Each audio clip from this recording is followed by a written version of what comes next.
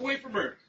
It's dramatic video of David jumping out of his apartment into action after he said he heard a young girl yelling for help. I looked out the window and I saw a man beating up a woman on the ground and he was trying to take her clothes off. David tells me he didn't think twice to go and get his gun. I ran upstairs, I grabbed my pistol, and then I came outside and I asked what's going on. And the girl screamed, I'm 15, help me. So I pointed my gun at him. We've paused the surveillance video to prevent from showing the 15 year old victim, but you can hear Hey, hey, and see when David Hey, confronts the- come the here. suspect. David said he had the young girl by the hair.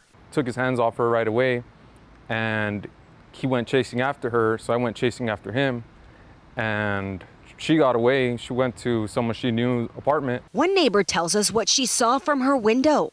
At first, I was scared because I literally thought she was about to get raped. I think if he didn't come out, she probably would have got raped or something. Harris County Sheriff investigators shared this picture of the suspect. They tell us the 15 year old girl was on the bus with him. She got off the bus stop and he followed her across the street and into this complex.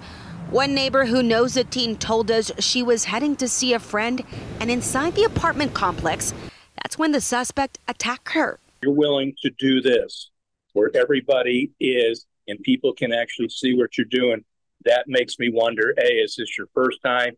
B, we need to get you off the streets before you continue to hurt young girls again. And this local middle school Yeah, teacher turned hero. kicking With that, I take my hat off to you. David says he just did the right thing. I was scared too, I'm not gonna lie.